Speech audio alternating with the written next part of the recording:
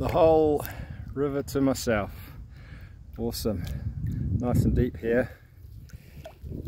And I'm on my own little island. It's not very big though. it's just a rock.